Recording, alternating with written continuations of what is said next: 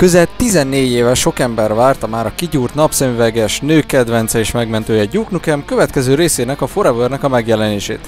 Ez alatt az idő alatt kb. 5 vagy 6 verzió is született a játékból, az elsőt már az 1998-as E3-on mutatták be, de azóta szinte mindegyik E3-on ott volt valamilyen formában. De most végre itt van, megjelent, és minden rajongó megkapta azt, amire várt már több mint egy évtizede, vagy mégsem. Mielőtt azonban belemerülnénk az új epizódba, egy pár dolgot elmondanék az újaknak és az öregeknek egyaránt. Mindenek előtt ez a kritika a PC-s verzióból készült, az Xbox 360-as, illetve PS3-as változatról nem tudok nyilatkozni. Aztán ezt a végterméket nem, ismétlen nem 14 év alatt fejlesztették, ez alatt az idő alatt többször átalakult, csiszolódott, mind grafikailag, játékmenetileg és történetileg, már ha egy ilyen játéknál persze beszélhetünk történetről, mint fontos tényező. Azonban pár dolog, mint fő jellemző mégis megmaradt, ilyenek például a főleg utalásokkal bíró beszólások, vagy csak a szimplán bedesz szövegelések, a csajok is megmaradtak bombázóknak, akiket folyamatosan látni fogunk, konkrétan van egy töltelék rész, ahol egy striptease klubban vagyunk, és Duke is megmaradt a tipikus hős tekintélyében, aki megmenti a világot a pusztulástól, de legalábbis pár alientől. A játékmenet is maradt a régi stílus, tehát nem a mai adrenalin kövőny játékról van szó, mint egy Code vagy Ballestorm, hanem kicsit lassabb és terjedelmesebb. Na de lássunk is hozzá, grafikailag a játék, ha objektíven nézzük, ocsmány.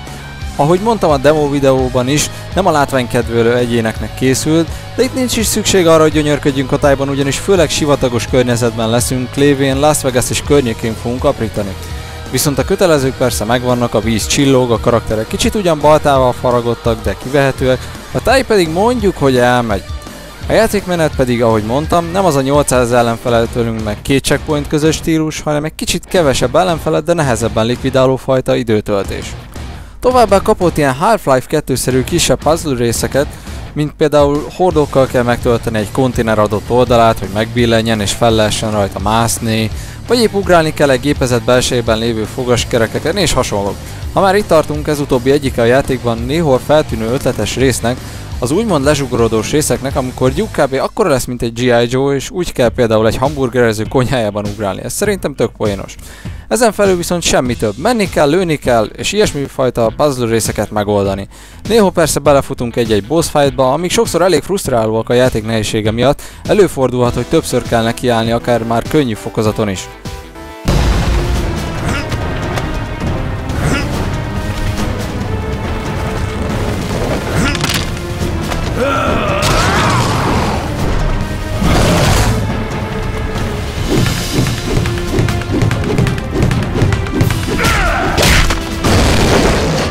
Right in the jewels.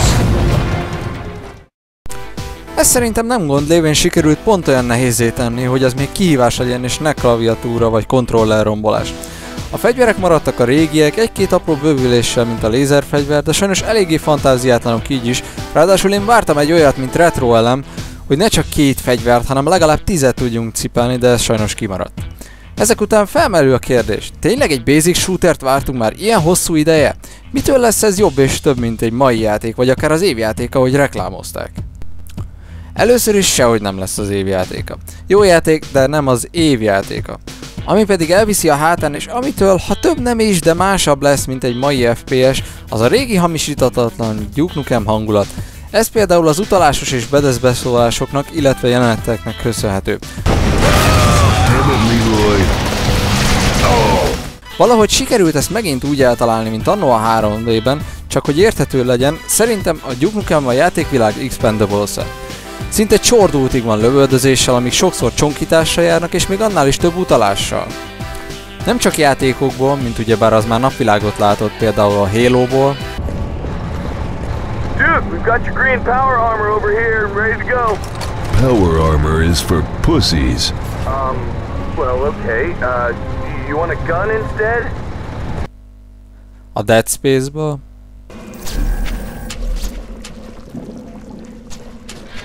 That's one dead space marine.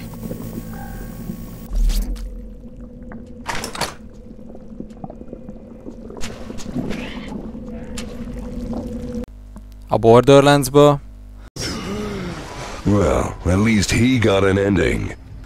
hanem például hozza az szokásos Arnold Schwarzenegger idézeteket, sőt a fejlesztők még az Inceptionből is beraktak egy kis apróságot.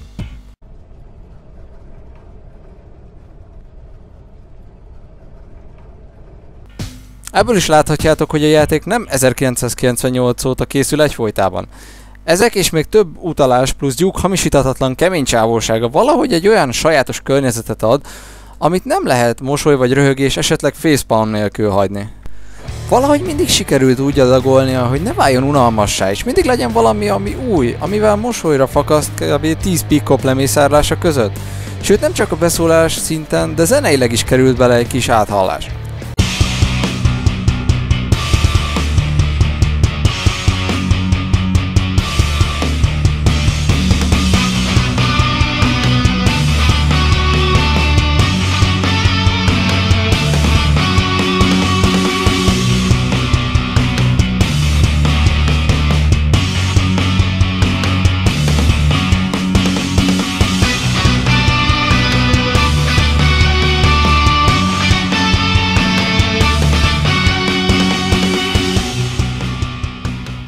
Na de ennyi marhaság után még pár szót szólnék azért a játék úgymond történetéről, ami kb. annyi, hogy az idegenek visszatérnek főhősünkért, legalábbis azért, hogy likvidálják a legutóbbi elpicsázásért. Persze közben egy ugató amerikai elnök is, aki azt hiszi, hogy békésen is meg lehet ezt oldani, de nyilván akkor nem Duke Nukem játékról lenne szó. Ami érdekes, hogy buggal nem nagyon találkoztam a játékban, még a scripteknél sem. Viszont más hibákkal sajnos igen. Például néha érthetetlen, hogy mit kell csinálni, vagy épp merre kell menni. Ez kicsit furán hangozhat egy agyatlan FPS esetében, mint ez, de tényleg előfordult, hogy ötletem nem volt, mit kell csinálni és hol. Főleg a játék vége felé lévő víz alatti résznél egy-kétszer azért fulladtam meg, mert nem tudtam merre is kellett volna menni. De persze a játék sem ad néha semmi támpontot vagy jelzést, hogy arra mente ütődött, aztán nem értettem, miért kellett bele például a korábban említett striptease klubos jelent. Nem akarok spoilerelni, miért mondom ezt, de szerintem csak egy tök fölösleges időtöltés. Jó, persze max poénos, és arra jó, hogy olyan achievementeket megcsináljunk, amik a játék folyamán máshol nem elérhetőek. Aztán azt sem értettem, hogy a főboss legyőzése miért könnyebb, mint például az Alien queen aki a játék kb. első harmadában van. A zsugorító fegyver pedig használhatatlan, úgy értve, ha már valakit lezsugorítottunk, nem elég átsétálni rajta, hanem le kell nézni pont az illetőre, és úgy oda menni hozzá. Ezt el tudjátok képzelni, hogy amikor kb. tizen jönnek rám, nem nagyon lesz kedvem egyenként odarohangálni, de nem csak nekem, senkinek sem. Aztán azt sem értettem, hogy kinek telik 10 órába végigjátszani. Talán a legnehezebb fokozaton, de én normálon 5 óra alatt végeztem vele. Legalábbis ennyit írt ki végszóra a Steam, de közben úgy, hogy még volt időm kb. két bónusz játéktermes achievementet megcsinálni, és néhol még bóklászni apró extrákért, mint például lőszer. Ja, és igen, még multiztam is. Na igen, a multi úgy szar, ahogy van. Fölösleges és abszolút szánalmas próbálkozás egy ilyen multiplayerrel előállni. Nem hogy manapság, de most már egyáltalán főleg úgy, hogy kb. értelmen annyi van, mint amikor egy galamb leszar egy szobrot. Ráadásul az, csak az alapmódok vannak, mint például Deathmatch, Team Deathmatch, Capture the Flag és King of the Hill. Itt mint multi csak és kizárólag a kooperatívnak lett volna értelme, de ezt elpuskázták. Aztán persze XP-s szintlépéses rendszert volt erejük belerakni, amivel kb. annyit érhetsz el, hogy egy-két külső formázási lehetőséget unlockolsz, illetve a MyDix nevű helyre tárgyakat. Ez utóbbi úgy mondjuk villája akar lenni, amiben alapból kapunk egy dögös francia takarítónénit, ezek után meg max csak lakáselemek kerülnek elő, mint például TV, szobrok, képek, bárpultra, kisfigurák, stb. Ennek sem sok értelmét láttam, de oké, okay, fogjuk fel poénnak. Végezetül, amivel a játék meglepett, miután végigvittem, az az extra menüpont megjelenése a főmenüben. Itt láthatjuk az összes korábbi Duke Nukem Forever E3-as trailerjét, képeket belőlük, sőt még korábbi artwork is, hogy mi hogyan nézett volna ki. Aztán itt van még olyan alfejezet, hogy timeline, ahol mindenki megtudhatja miért késlekedett a játék ennyit, és hogy mikor mivel bővült. További extra egy cheats almenü, ahol lehet különböző kódokat aktiválni, mint például végtelen lőszer, God mode, vagy akár a Freeze Ray nevű fegyver működését is átalakíthatjuk a régi Duke Nukem 3D-s működésére. Legutolsó kép pedig kapunk egy soundboardot saját felhasználásra, szóval lehet felkészülni egy-két elborult videóra a közeljövőben Youtube-on. Alien motherfuckers are gonna pay for this! I'm gonna rip your eye out and piss on your brain, you alien dirtbag! Welcome to Earth, bitch. I am the Duke. I am A number one. Oh yeah, it's ass kicking time. My balls, your face. Összegezve a Duke Nukem Forever nem lett az évjátéka, sőt nem hiszem, hogy sokak tetszését elnyeri, De aki régi motoros és valamennyire művelt filmes játék történetileg, hogy értse a poénokat, annak mindenképp kellemes csalódás lesz. Nekem egy kellemes felüdülés volt a mostani tucat játékok után, de sajnos nem lett akkora klasszikus, mint elődje. Sziasztok! Look at my ass. Do it now.